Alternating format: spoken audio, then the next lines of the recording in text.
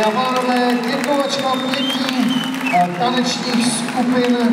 celkem 98 dětí a